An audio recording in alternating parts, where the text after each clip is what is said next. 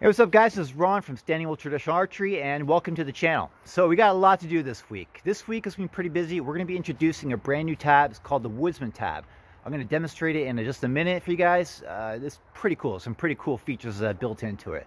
We're going to be doing some shooting. We're going to be testing out some of the new gear. We're going hunting. Uh, I'm thinking we're going to bypass deer this week. We're going to go straight to turkey because I really want to get a fall turkey. Uh, I'm going to be setting up a natural blind for deer, so uh, there's a pretty good spot that it'll probably be another video, but we're going to get back to it, and uh, we've got a lot to do, a lot to cover this week, so let's get going.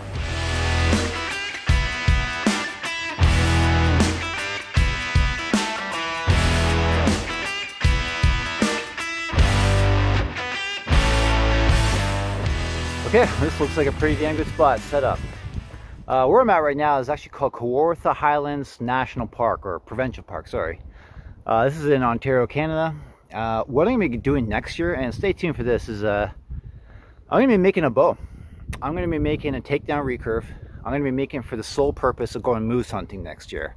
That is the goal. I'm just going to say it out loud right now. That is happening. I'm harvesting a bull moose with a takedown recurve I made myself. So stay tuned for that. And on top of that, hopefully, uh, my good buddy dear friend, best friend, someone I've known for, damn, like 30 years almost, uh, is going to be coming along for the ride. His dad is the one who inspired me to get into hunt or uh, into uh, shooting traditional and hunting actually.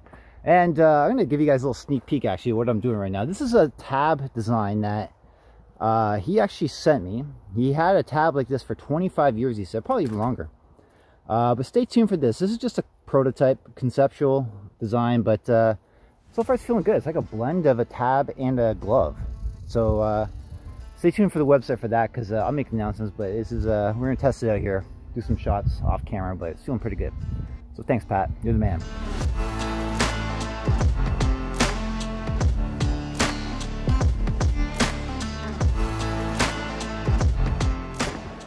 Definitely one of the perks of the job.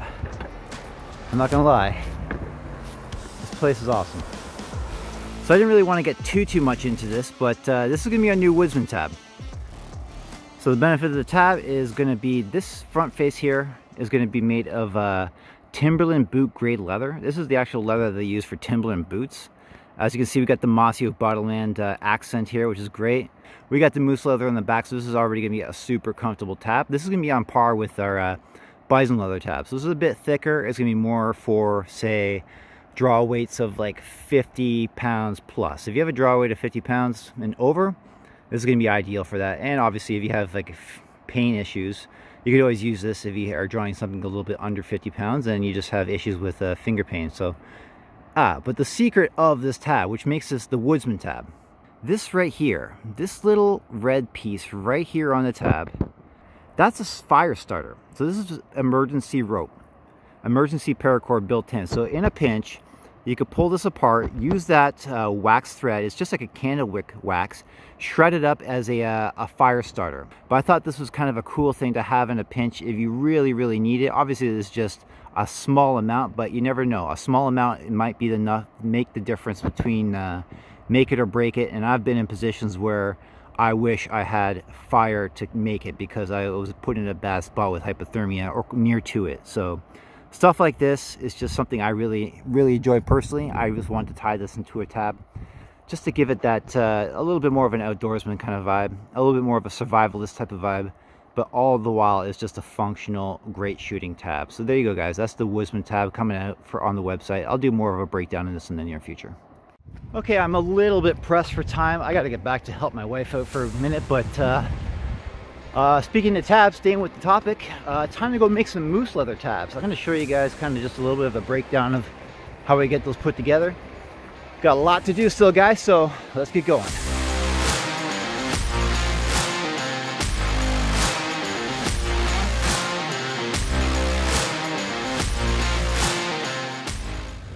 All right, we're going to get a head start on making some moose tabs right now. Uh, got a couple cut out and we're going to be using two different uh, thicknesses of moose leather and two different color tones.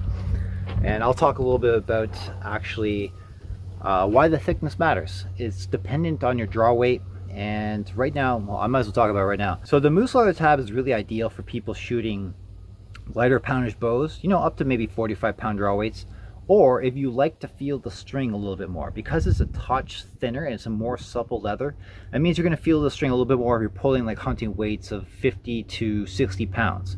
Uh, it's perfectly fine for that. It's gonna be great for that. But I'm just letting you know now, it's not really ideal for someone who has uh, finger pain issues. Now, this is great for bows that are under 45 pounds.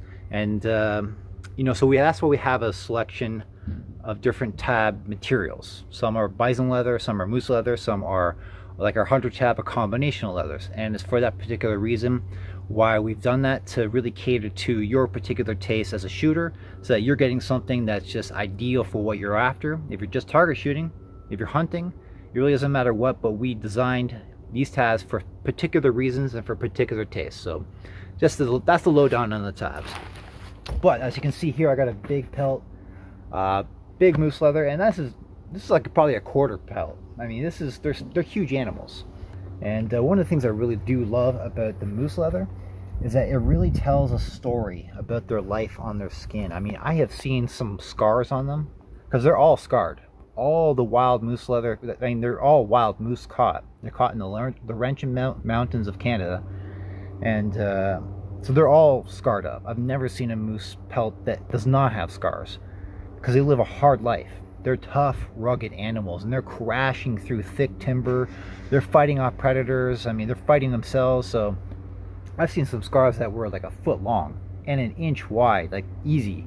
So some of the wounds that these animals get uh, inflicted on them are just massive. So like, it really does say in the in the in the leather. I mean, each tab is unique in itself, and essentially it tells a little bit of the life of the animal on the tab itself. I think that's what's so cool about the moose in particular is that it has that and you know it's a quality that although someone could look at this like as like a deficiency or something I kind of look at it as a part of the actual just the the uniqueness of the item. It just tells a story like I said and I think that's just something I would never want to even replace. That being said it's time to trace all the tab patterns out. We've got a lot to make. Got to cut them out by hand until further notice, it's these scissors right here that has been making your tabs. So, let's get going.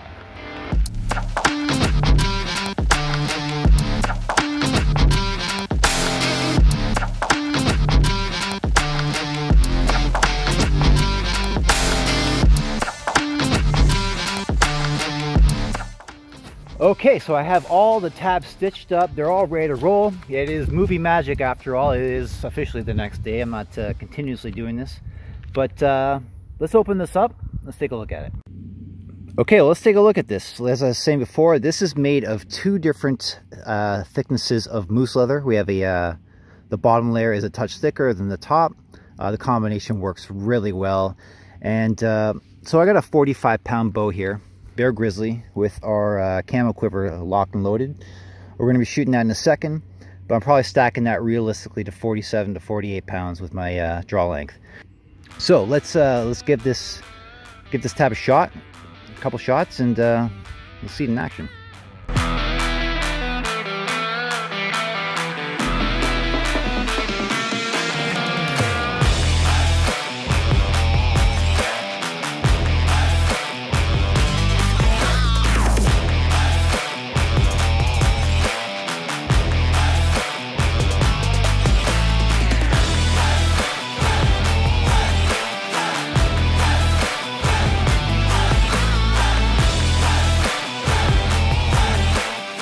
Right, there you go. Tested it. in The tab works great. Going to be taking it to uh, to a hunt. We're going turkey hunting right now. So let's get geared up. Let's hit the road.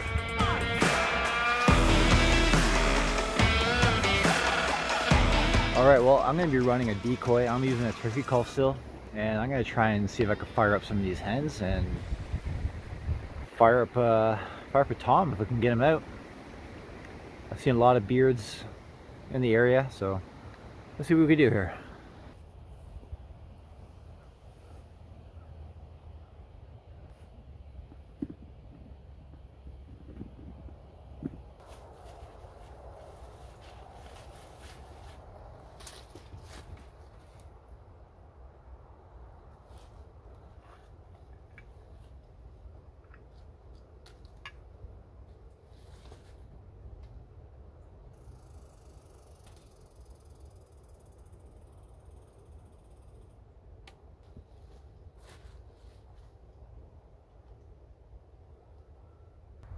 Well, I've been in the spot for a bit.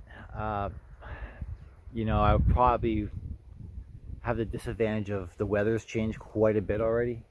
It was supposed to be sunny, now it's getting really cold, very windy, and it's probably going to light snow at some point. So I think that's pushing the birds more into, deeper into the woods. The spot that I set up at is great. I think the disadvantage is that I'm still kind of waiting on a lot of these crops to be harvested to really get a better view of uh, where they're going to be because around this time, this is like 8 o'clock in the morning, almost 9. Actually, sorry, this is 9 o'clock as of this recording. Um, that spot would have been good. So we're going to come back probably this week.